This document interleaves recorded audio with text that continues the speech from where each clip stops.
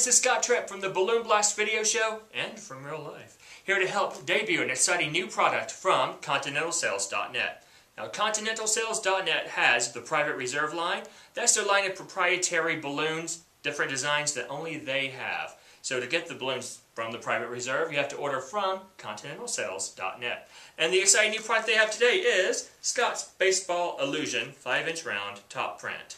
This is a baseball balloon. It's a 5-inch round white balloon with red stitching on it that gives the illusion of a baseball. Now, this balloon, I've actually been going back and forth with Continental for three years, and because of a slight misunderstanding, they haven't been available until now. Um, the sticking point was, originally, they thought we wanted a balloon that had the um, baseball stitching all the way around, and ideally that would be good, except for when the balloons are printed, the print area is only so big, and to have a five-sided print would be astronomically priced, not to mention the registration, the lining up would just be way beyond comprehension to accomplish. So this balloon, when blown up, has a small print. It's really just a, enough to give the idea of a baseball, but when you blow up a 5-inch round balloon to about, oh, let's say 3 inches, and give it a gentle squeeze from the back, check that out. You enlarge the print area. And that is all you really need of a baseball. Alright, so once again, when you get your balloon, don't inflate it all the way, because that really uh, puts the print in the front right here. What you want to do is underinflate it, so you have about a 3-inch balloon. Really, that's more baseball sized anyway. What you're going to do is squeeze so that all the pressure goes to where the top print is, like this. You see how it grows there? And that gives you all the impression that you need for that to be a baseball. And really, when you use this in a sculpture, you don't use that where you show all the sides, right? You don't show the knot anyway. And a lot of the balloons are that way. If you look at a 5-inch round Mickey Mouse head, for instance, that's the total surface impression. It doesn't show the back of the head, right? Now, how do you use this balloon? Obviously, you use it as a baseball, right? But I think that uh, just using this balloon as a baseball is really short-sighted. We're balloon artists, we're creative, we can do better than that, right? So I came up with a few different things just to get you started. Um, one thing you can do is a baseball bat. This is two Mocha 321s, one for the uh, knob on the end of the bat, and the rest gives you that taper, so you have a little baseball bat. You have a baseball. Let's grab a uh, 260, we have a clear, and tie that around here, like that. Tie the other end to the baseball, and just like that we have a little baseball. You can hit like this. Alright, if you don't want to do it that way, let's take that back off. Have your baseball bat. Same thing on a hat.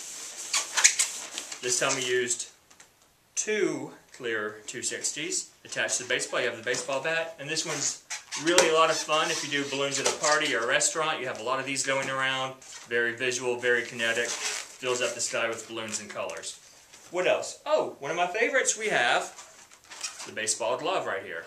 Um, we have the instructions for this at balloon-animals.com, um, part of the Balloon Blast series of instructions. But there's a wearable baseball glove. The baseball goes right there in the middle. And that illusion top print gives you all you need to see of the baseball right there. Gives a full impression of it. Baseball glove can also be scaled up to 350, so you have that really cool oversized baseball glove. That baseball really tops it off. If you do balloons for college or professional uh, Major League Baseball games, you have to have the baseball print. Absolutely. Now, if you have a Little League Baseball, or if you do uh, balloons for restaurants and the team comes in, make a baseball trophy. Little baseball right there, just icing on the cake, perfect. And what else? Oh, there are also at least two Major League Baseball teams and probably dozens of minor league baseball teams that have a baseball face mascot. I know that sounds weird, but look up baseball mascot. You'll find them. Um, this guy I made sort of a, just a generic one, but you draw the face on there. You can't really get the same look if you do the stitches with a Sharpie. It never looks just right. Like if you've ever tried drawing the Disney princesses on a round balloon, not the same as an imprint. But um, there's our little baseball guy.